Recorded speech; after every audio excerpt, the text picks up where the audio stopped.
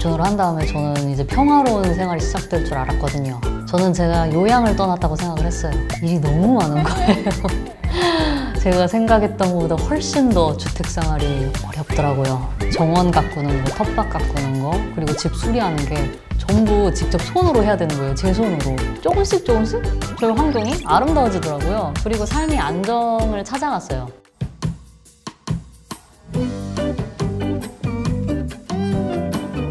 안녕하세요. 저는 리틀타네의 슬기로운 생활이라는 채널을 운영하고 있는 리틀타네입니다. 어, 얼마 전에 이렇게 살면 큰일 나는 줄 알았지라는 책도 썼고요. 어, 남들과는 다르게 누구보다 느리게 세상이 살란 대로 살지 않아도 된다는 걸 확인하고 싶어서 귀촌한 여러분의 자립 선배입니다. 그럼 제가 최초로 자립하게 된 계기에 대해서 말씀을 드리면서 이야기를 시작해 볼게요. 이제 20세 부모로부터 자립한 이 구간을 말씀드릴 건데요. 여기는 이렇게 놀랍게도 하강을 하면서 시작합니다. 바닥을 찍죠. 고등학교 때 예고를 나왔어요. 성악을 했거든요. 들어가고 나서 제가 알게 된 게 성악이 별로 저한테 적성이 안 맞았던 거예요.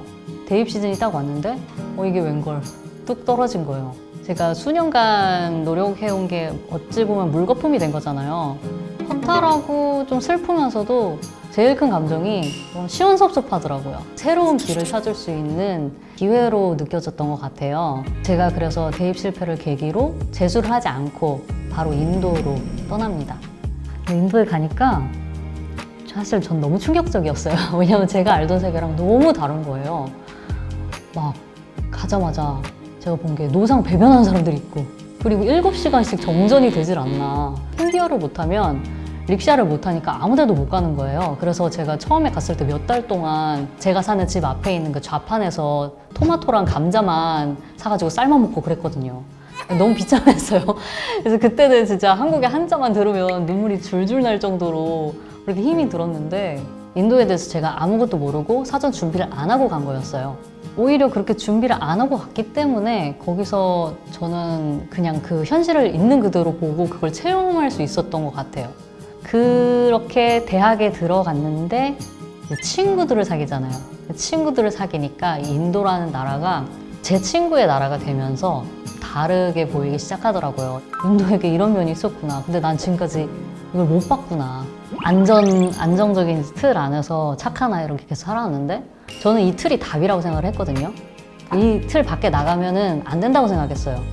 근데 그들은 이 제가 아는 이 삶 밖에서도 충분히 잘 살아가고 있더라고요. 내가 아는 게 전부가 아니구나. 내가 모르는 세상이 너무 많다. 무궁무진하다. 약간 배움에 대한 그런 갈망이 좀 갈증이 생기더라고요. 더 넓은 세상이 보고 싶어서 제가 미국행을 택하게 되는데요. 처음에는 이제 2년제 그 커뮤니티 칼리지에서 공부를 했어요. 4년제 그 주립대학으로 편입을 목적으로 하고 열심히 하면서 이제 또 성적을 잘 받아야 되니까 평균 A를 받으려고 막 갖은 애를 다 쓰면서 열심히 공부를 했어요. 어느 날인가 TV를 보는데 그 카러스라는 흑직 커뮤니티가 광고가 나오는 거예요. 너무 신선한 충격을 받았어요. 카럭스가 뭐냐면 거기가 이제 제3세계에서 그 전쟁 잔해들로 흙집을 짓는 법을 가르치는 곳이에요. 거기에 전국 각지, 막 세계 각지에서 온 청년들이 모여가지고 흙집 짓는 법을 배우는데 맨손으로 집을 짓는다는 그 행위 자체가 너무 멋있어서 아, 나도 저기 끼고 싶다. 나도 저거 하고 싶다라는 생각이 들면서 막 난생 처음으로 막 가슴이 떨리더라고요. 근데 이제 내가 지금까지 해온 게 있잖아요. 이걸 두고 가야 되는 거야.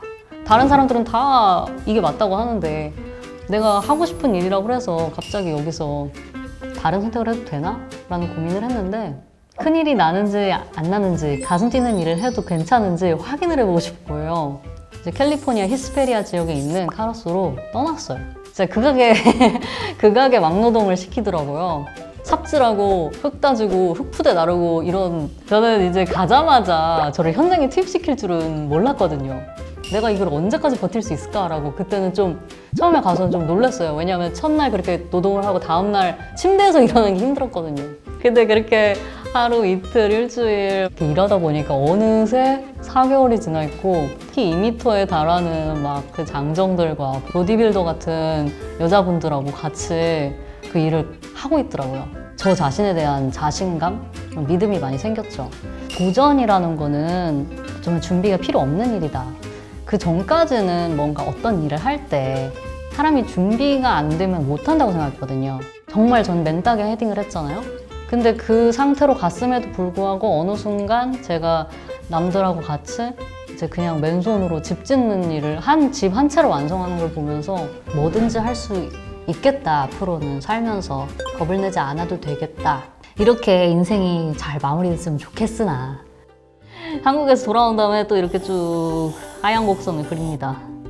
한국에서는 이런 경험들이 증이 없으면 공인이 되지 않은 경험들은 뭐 인정이 되지 않더라고요. 다시 시작하면 된다고 생각을 했어요. 그래서 제가 이제 열심히 준비를 해서 자격증 두개 따고 5개월 만에 이제 편입에 성공을 했어요. 대학에 들어가가지고 제 또래 아이들을 보니까 저도 모르게 자꾸 비교를 하게 되더라고요. 저 자신과. 자꾸 시선이 가더라고요. 그러면서 어, 내가 좀 많이 뒤처졌나? 라는 생각을 했어요. 왜냐면 그 전까지 저는 항상 혼자 달렸잖아요.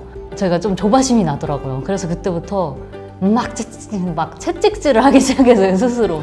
24학점씩 막 들었어요. 제가 좀 늦게 다시 들어왔잖아요. 빨리 졸업하고 싶으니까 꽉꽉 채워서 들으면서 학점도 잘 받고 싶은 거예요. 제가 나이가 많으니까 무조건 최고로 잘해야죠. 그래서 계속 A학점 받으면서 어, 제가 철학을 전공을 했는데 이 철학을 미술에 접목시키면서 미술 철학을 공부하면 좀 좋겠다. 예술적인 세계를 넓혀가고 싶어서 영국에 이제 일러스트 석사로 공부하려고 떠나게 됐어요. 이제 남은 건 영국에서 취업을 하는 것밖에 없었거든요. 야, 이제 여기서 자리 잡으면 돼. 그럼 약간 제, 어, 딱 인생의 정점을 찍을 것 같은 거예요. 그 순간, 아, 코로나가 탁 터져주더라고요. 그래서 코로나가 터졌어요. 아, 학교가 문을 다 닫았죠. 그 비싼 월세를 내면서 영국에 계속 남아있을 수가 없는 거예요. 그래서 한국으로 이제 터덜터덜 돌아왔어요. 이제 허탈하니까 뭐라도 이제 저 자신의 이제 공허함을 충족시키고자 일을 엄청 열심히 했어요. 프리랜서 일을 막 세 개씩 받아서 하고 이제 번아웃이 오더라고요. 건강이 좀 안 좋아졌고 좀 쉬고 싶다 이런 생각이 들 때쯤에 저희 어머니가 저한테 어, 갑자기 귀촌을 추천을 해주시는 거예요. 네가 어차피 계속 집에서 일을 할 거면 기왕이면 이제 주택을 사서 주택 생활을 하면서 프리랜서 일을 하면 어떠냐라고 제안을 해주시더라고요. 변화라는 걸 추구할 때 환경을 바꾸는 것만큼 확실하고 빠른 게 없다고 생각을 하거든요. 그래서 31세에 제가 귀촌을 하면서 완전한 자립을 이루게 됩니다. 귀촌을 한 다음에 저는 이제 평화로운 생활이 시작될 줄 알았거든요. 저는 제가 요양을 떠났다고 생각을 했어요. 일이 너무 많은 거예요. 제가 생각했던 것보다 훨씬 더 주택 생활이 어렵더라고요. 정원 가꾸는 거, 텃밭 가꾸는 거, 그리고 집 수리하는 게 전부 직접 손으로 해야 되는 거예요. 제 손으로. 처음에 5개월 동안은 집 수리하는데 거의 시간을 다 보내고 그리고 정원 가꾸는데도 시간을 정말 많이 투자를 했어요. 조금씩 조금씩 저희 환경이 아름다워지더라고요. 그리고 삶이 안정을 찾아갔어요. 그 전까지는 약간 제 삶의 주도권이 항상 좀 그래도 외부에 조금 있다고 생각을 했거든요. 충분히 주도적인 삶을 살 수 있었구나. 두 발을 땅에 딱 딛고 서는 느낌이 들더라고요. 그래, 삶이라는 게 꼭 그렇게 지칠 필요가 없는 일이구나. 라는 걸 시골 가서 깨달았습니다. 도시에서는 뭔가 주의를 빼앗는 게 많잖아요, 주변에. 아, 돈 쓸 때도 너무 많고, 재밌는 것도 너무 많고, 만날 사람도 너무 많고, 사고 싶은 것도 너무 많아요. 에너지를 밖으로 많이 빼앗긴다는 느낌이었는데, 시골에 오니까 일을 많이 하면서도 내가 왜 안 지칠까 생각을 했는데, 많은 걸 자기 손으로 직접 해야 되지만, 별로 안 지치고 힘들지가 않더라고요. 우리는 항상 내일을 준비하고 좀 안정을 추구하려고 항상 오늘 정말 열심히 노력을 하지만 어떤 사건, 사고들도 불현도 찾아오고 모든 행운도 그런 불행도 갑자기 찾아오는 거거든요. 저희는 영원히 준비할 수 없는 내일을 계속 준비하면서 살아가는 거예요. 그래서 저는 귀촌하기 전에도 한 달 전까지도 제가 귀촌을 할 거라는 걸 생각을 못 했어요. 꿈도 못 꿨어요. 유튜버 이렇게 성장할 것이라고도. 제가 책을 쓸 줄도 몰랐고 저는 사실 생각해보면 10년 전에 제가 생각했던 저 자신과 지금은 전혀 저는 아무것도 예상하지 못했던 거예요 제 그냥 지금까지 살아온 삶 자체가 자양분이 돼서 지금의 제가 잘 살아가고 있는 어쩌면 걱정할 필요가 하나도 없었던 그런 삶이었던 거죠. 시골로 오니까 시간이 많아졌잖아요. 제 삶을 돌아볼 시간이 많아지더라고요. 여유가 생기니까. 그날 그날 뭔가 새로운 깨달음이나 배운 점들 기록을 하고 싶더라고요. 2021년에 코로나가 기승을 부릴 때 시작한 이 유튜브 채널이 지금은 어느새 이제 22만 명이라는 구독자분들이 함께 해주시고 있는 그런 채널이 됐거든요. 어, 내공이 더 있으신 분들이 오셔가지고 저에게 많은 조언도 해주시고 가르침도 주시니까 어, 정말 유튜브를 하면서 제가 가장 많이 배우지 않았나.